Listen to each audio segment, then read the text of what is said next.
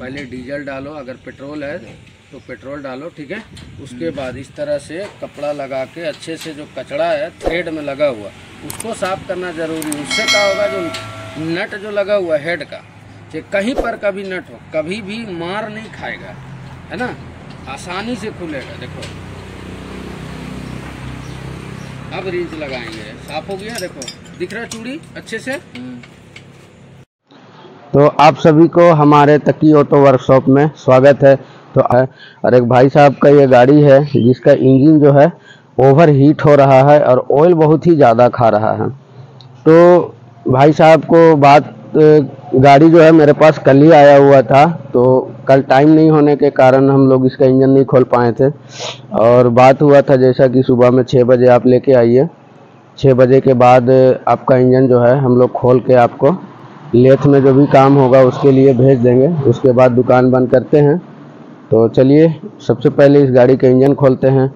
और जैसा कि नेक्स्ट वीडियो में भी आप देख चुके थे कि हमारे पास कंटिन्यू इंजन रहता है। तो एक इंजन और है, जो कि अभी सुबह में हमें यहाँ से बस में लोड कराना है, जो कि रांची जाएगा बनने के लिए लेथ में। उसके बाद वो शाम में आएगा, फिर उसका कल फिटिंग होगा। और ये भी जो है, कल हर कीमत में इस इंजन भी फिटिंग करके तो यहाँ पे वही दूसरा इंजन है जो कि हमें आज सुबह रांची भेजना है। तो ये बोरा में हमने पैक कर लिए हैं अच्छे से। उसके बाद इसे बस में लोड करा देंगे। तो यहाँ पे फाइनली जो हमारा बस था जिस गाड़ी में अभी मज़ा आएगा ना भिड़ो। हमें भेजना था वो गाड़ी आ चुका है और इस गाड़ी में हम लोड करा देंगे। और देख सकते हैं जैसा कि यहाँ पे हमारा जो सामान है इंजन है लोड होके रांची बनने के लिए लेथ वर्क जा रहा है। उसके बाद शाम में फिर इसी बस में हमारा सामान जो है वापस भी आ जाएगा बन के उसके बाद हम इसे अगले दिन इसको फिट करेंगे इंजन को।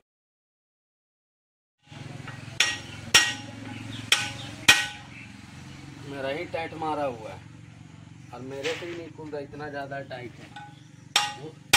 हल्का हल्का।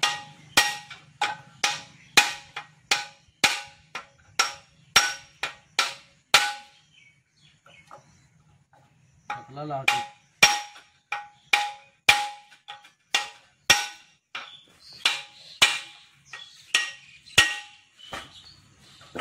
पतला ला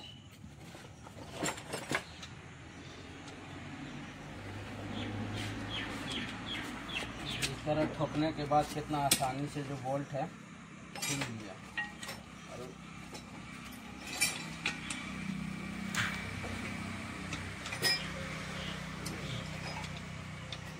देख रहे हो ना कैसे खुल गया?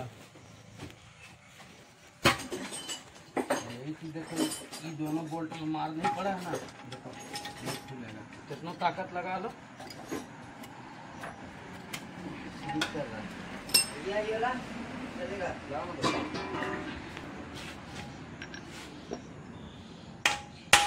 ये छिटकता है यार खराब ही वाला कुआँ लोहा यार लोहा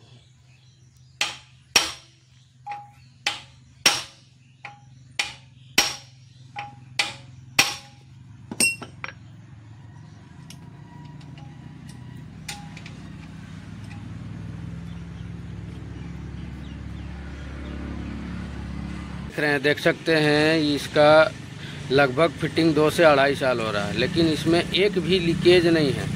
तो कैसे ये लीकेज नहीं है? तो ये जो है, हम जो कभी भी इंजन बनाते हैं, यहाँ चेम्बर की जो पैकिंग होता है, ये देख सकते हैं इसमें, लगा हुआ नहीं है।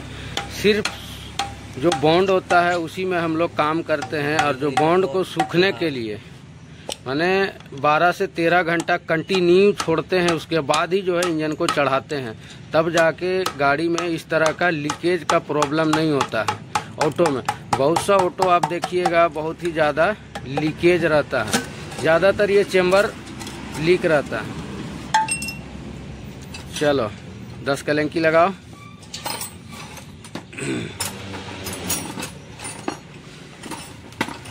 तुम लोग को भी सुबह सुबह आज परेशान कर दिए ना।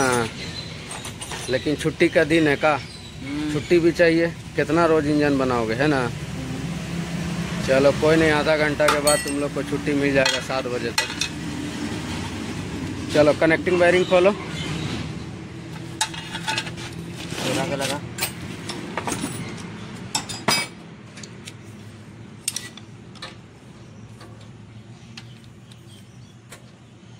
दबा नीचे।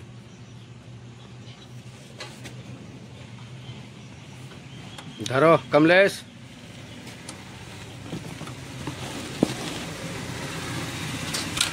चलो आराम से आराम से तुम लोग को बार बार खोलना है। देखो, ये सब चीज़ रोज खुलता है, रोज फिट हो रहा है अभी गैरेज में, है ना? चेम्बर हटा लो, हाथ में स्लिप हो जाएगा तो लग जाएगा, नीचे आएगा तो। चलो, दूर करो। चलो, स्लिप नहीं होना चाहिए। खुल रहा? खुला? छोड़ दो। मेरा हाथ का टाइट मारा हुआ है, हम ही खोलेंगे। चला जाओ।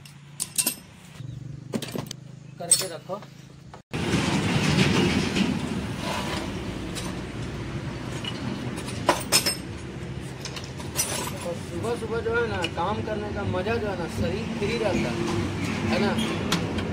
अच्छा भी लगता है सुबह में कोई काम हो जाए तुरंत और शाम में।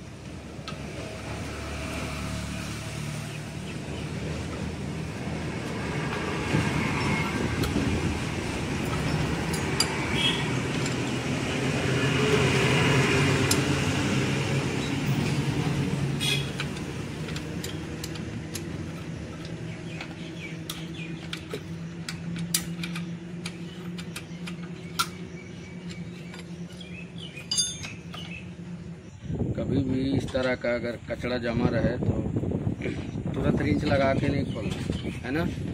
ठीक है? पहले डीजल डालो अगर पेट्रोल है तो पेट्रोल डालो ठीक है? उसके बाद इस तरह से कपड़ा लगा के अच्छे से जो कचड़ा है थ्रेड में लगा हुआ उसको साफ़ करना ज़रूरी है। उससे क्या होगा जो नट जो लगा हुआ है हेड का चाहे कहीं पर कभी नट हो कभी भी मार नहीं खाएगा है ना? आसानी से खुलेगा देखो। अब रिंच लगाएँगे। साफ़ हो गया देखो। दिख रहा चूड़ी? अच्छे से? पकड़ के रखो।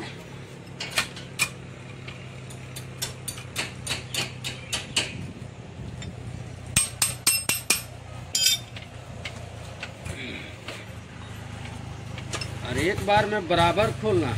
इस साइड एक इस साइड एक फिर इस साइड एक इस साइड एक। ठीक है? कभी भी खोलना है, चाहे कभी फिट भी करना है।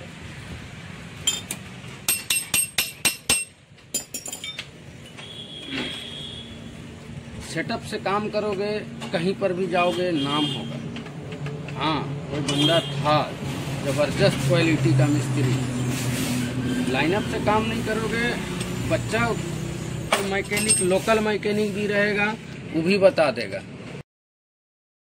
बीच में किसी और कस्टमर का फ़ोन आ जाता है सुबह सुबह ही, जिसका, उसका, उस गाड़ी का भी इंजन में फोल्ड था, जो कि हमें इस वीडियो में आपको बताना पड़ रहा है, दिखा के, बात करके, ताकि आपको भी पता चले कि मैं झूठ तो नहीं बोलता कि हमारे पास रोज एक न्यू इंजन ज़रूर बनता है। तो वीडियो में दिखाने का यही मकसद था हमारा, बस और कुछ नहीं था।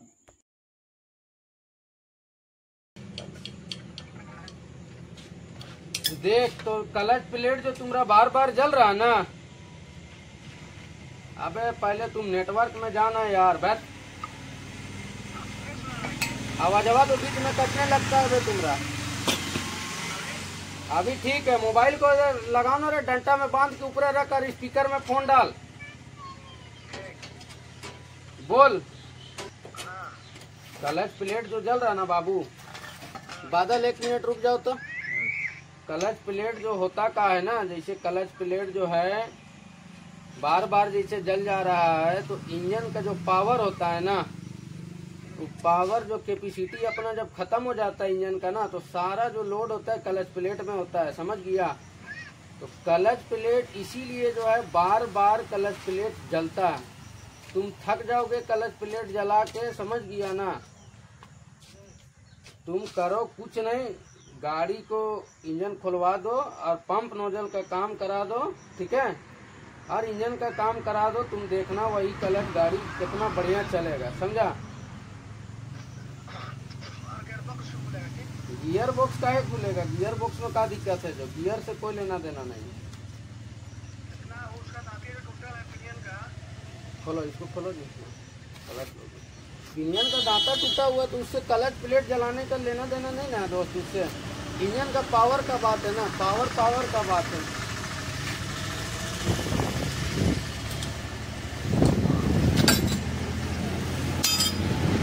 ठीक है, तुम आँख बंद करके इंजन बनवाओ, ठीक है? हम जैसा बोल रहे हैं वैसा करो। गाड़ी जो है तुम्हारा सुधर जाएगा, ठीक है? ये गाड़ी जो जिससे बात हो रहा है, इस गाड़ी मैंने चेक कर चुका है। ये गाड़ी ऑयल खा रही है और पंप जो पंप और नोजल जो है खराब हो चुका है। इसीलिए मैं इसको कॉल में बता रहा हूँ कि पंप नोजल का काम कराएँ आप और इंजन खुलवा के बनवा लें। आपका जो बीमारी है वो ठीक हो जाएगा। तो ये जो इंजन है, हम लोग का पूरा इंजन खोलने का मकसद ये था कि गाड़ी जो था, माने मीठा गर्म हो रहा था। एक गर्म होता है रिंग के वजह से जो गाड़ी गर्म होता है, उसका जो ऑयल है ऑयल बहुत ही ज़्यादा छीटने लगता। है दूसरा क्या मीठा गर्म क्या होता है? गाड़ी सिर्फ़ हीट होगा। हाँ, तो वो, वो जो है कैसे हीट होता है? तो ये ऑयल पंप जो है ऑटो रिक्शा का कभी भी ये देख सकते हैं ये कितना ज़्यादा ढक है। देख पाते होंगे वीडियो में देखिए ये इतना ज़्यादा हिल रहा है। तो ये जब ढक हो जाता है तो इसके वजह से जो है गाड़ी जो करता क्या है गाड़ी हीट होने लगता है। और हम लोग करते क्या है? हाफ़ इंजन खोलते हैं ब्लॉक पिस्टन डाल देते हैं और मेरा कैसा